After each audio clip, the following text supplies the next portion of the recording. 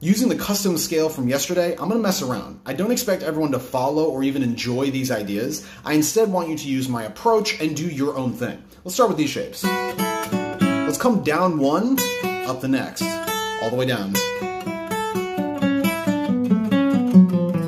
Pretty cool. What about the string skip version? Same thing, down one, up the next.